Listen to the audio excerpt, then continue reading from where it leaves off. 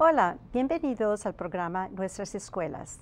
Este programa es para padres para darles información sobre lo que sucede en el sistema escolar del condado de Montgomery, o sea, MCPS.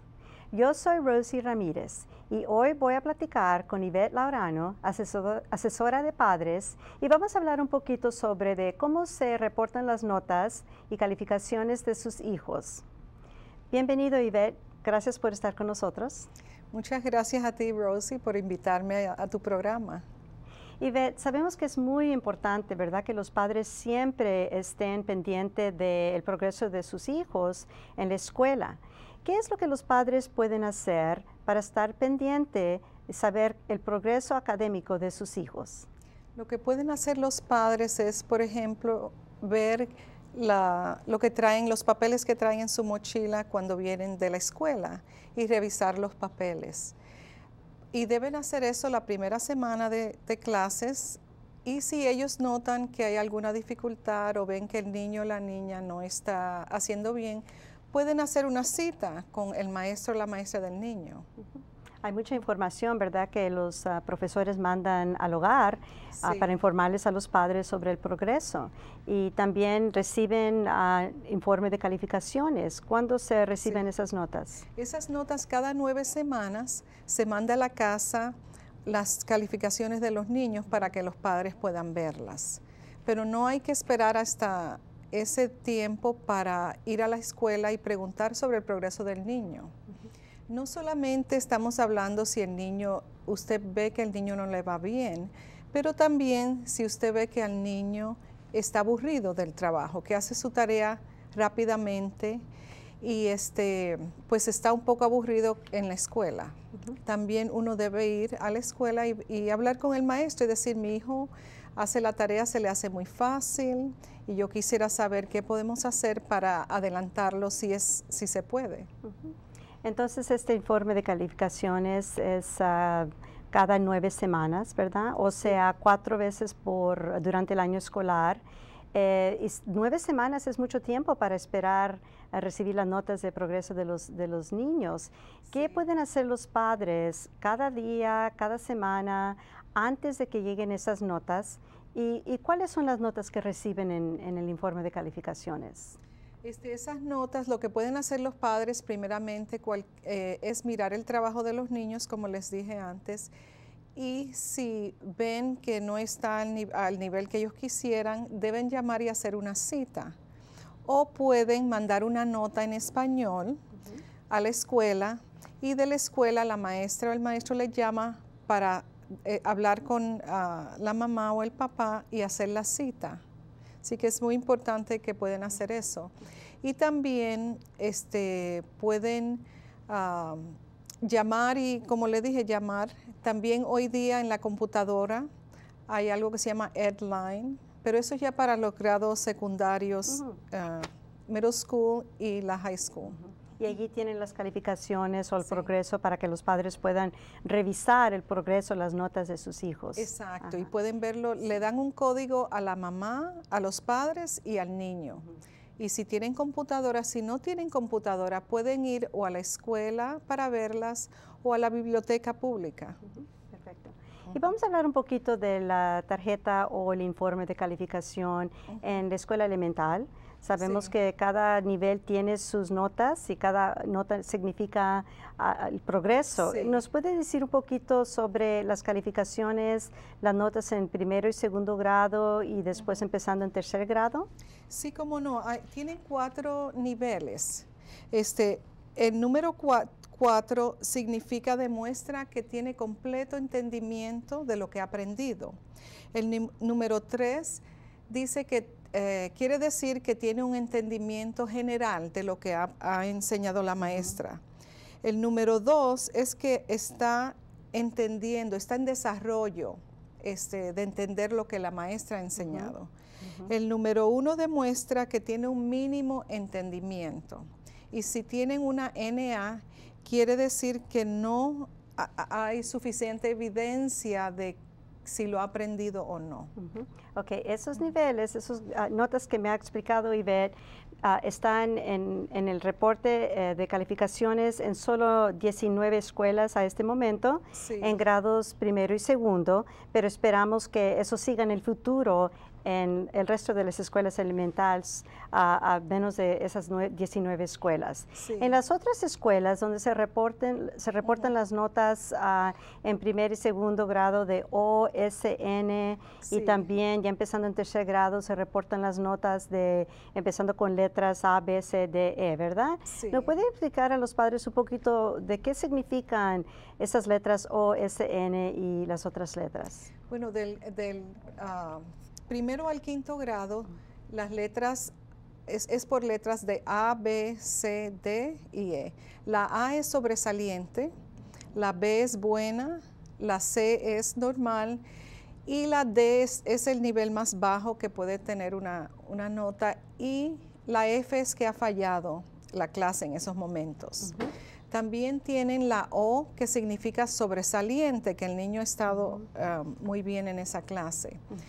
Y ese es satisfactorio, como le dije, y este, a veces hay una N que no, no, este, no se necesita calificar al niño en, ese- en eso, si no está cogiendo esa clase.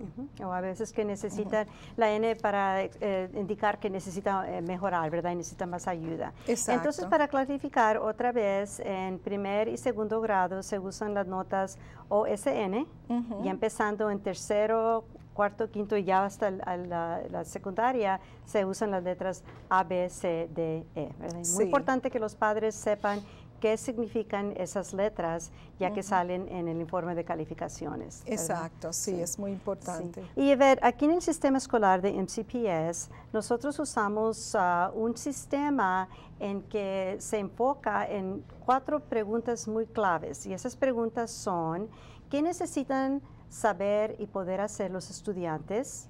¿Cómo sabemos si ya lo han aprendido? ¿Qué se hace si no lo han aprendido? ¿Y qué se hace si ya lo han aprendido? Este sistema le llamamos, se refiere a veces a un sistema estandarizado de calificaciones e informe. Y es lo que estamos usando en MCPS para comunicar el progreso de los niños. ¿Qué es lo que hacemos si ah, los niños ah, no han aprendido lo que deben de aprender? Entonces, lo que se, se comienza a ayudar a ese niño en- al nivel donde está. Y también se le informa a los padres este, que el niño no está al nivel, se hace una reunión en que invitan a la mamá. Y si usted como madre o padre ve que el niño no está bien, usted también puede comenzar esa reunión y llamar a la escuela y decir que usted quiere saber cómo mejor puede ayudar a su hijo o qué puede hacer la escuela para ayudar al niño.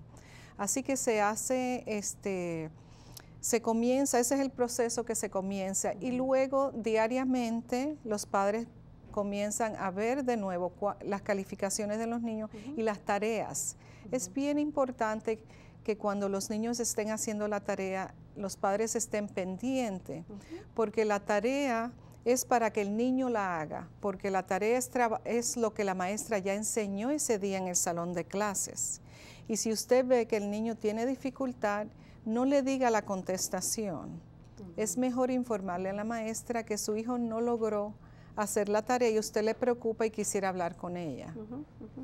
En este sistema ah, queremos saber si los niños han aprendido y qué es la manera en que los profesores se, se informan sobre que si el niño ha aprendido la información, la lección, la materia que la maestra ha enseñado. ¿Cómo saben ellos si los niños lo aprendieron o no? Bueno, lo saben por evaluaciones que le hacen a los niños y va- a través de esas evaluaciones saben si han aprendido la materia completamente, si necesitan más ayuda y a base de eso es que ellos se, no es a través de proyectos y, y algunas cosas así, este, porque eso ya lo hacen en la casa, este, pero sí lo hacen a través de esas evaluaciones sí. para saber qué ayuda darle al niño. Entonces, de esa manera se dan cuenta de que si los niños ah, no lo han aprendido y hay, ¿verdad?, apoyo para ayudarles, pero también se dan cuenta de que los niños ya lo han aprendido o quizás yo, ya lo sabían antes de la lección.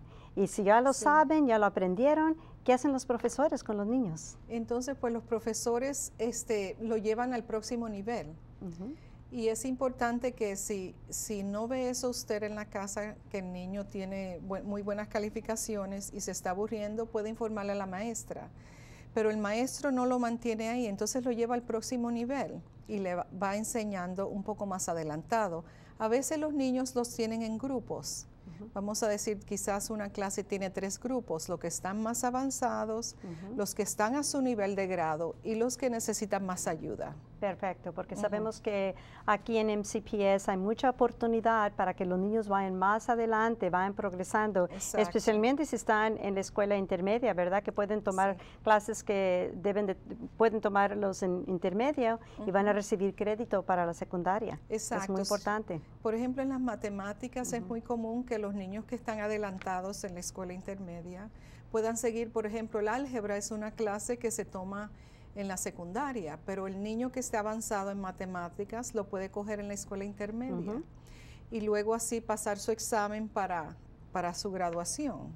Sí. Así que sí, hay eh, bastante oportunidad para que los niños sigan progresando y aun cuando están en la secundaria y acabaron todas sus matemáticas básicas para graduarse, pueden coger matemáticas a nivel universitario y Mm. recibir, si pasan en la evaluación del Estado, pueden pasar, pueden llevar ese crédito a la universidad y ya es un crédito gratis. Perfecto. Es por eso que es muy importante que los padres estén pendientes, que sepan todo el tiempo qué es el progreso de los niños. Si ya han cumplido, ya han alcanzado la materia, tienen que seguir, ¿verdad? Exacto. Quieren seguir para que vayan adelantan- adelantándose. adelantándose. Y una cosa que hay que tener en cuenta, a veces los niños les da vergüenza que son más inteligentes que los demás. Y por eso usted si ve todas AES, todo perfecto con su niño, no le dé pena ir a la escuela y preguntar, mi hijo puede estar un poco más adelantado, no quiero que se aburra. Porque a veces los niños no quieren ser diferentes que el grupo. Sí. Pero ustedes como padres, nosotros como padres debemos ayudar a nuestros hijos a que eso es algo muy bueno y que debe aprender a su nivel. Y, a- y más adelante. Y más adelante, Perfecto. exacto. Y eh, eh, voy- vamos a ver el, el- el, informe de calificación para los niños en la escuela men- elemental en primero y segundo. Sí. Hay una sección aparte, ah, ¿nos puede decir un poquito de qué, qué significa el lado donde dice destrezas de aprendizaje? Sí, Porque eso es- también ujú. recibe notas, ¿verdad? Sí, en esto también reciben notas, porque eh, queremos saber si los niños, por ejemplo, una de las partes es esfuerzo, terminación del trabajo, devuelve las tareas todos los días al niño que se le da en la clase, termina el trabajo en la clase. La maestra está muy pendiente de esas cosas porque necesita saber si el niño está, para ella poder saber si necesita más ayuda. La participación, el niño alza la mano para hacer una pregunta o contestar. Entonces, esos son, ¿verdad?, para ayudarle al niño a mejorar en su lado académico también, ¿verdad? Exacto, también. Ivette nos ha dado mucha información, muchísimas gracias. Sé que hay otras maneras, otros lugares para que los padres puedan encontrar información y le vamos a dar esa información a este momento, pero muchísimas gracias por estar con nosotros hoy. Le agradezco su tiempo y el apoyo para las familias del condado de Montgomery. Ha sido un placer, gracias. Y para los padres, gracias por estar con nosotros hoy. Ojalá hayan disfrutado. Hasta la próxima.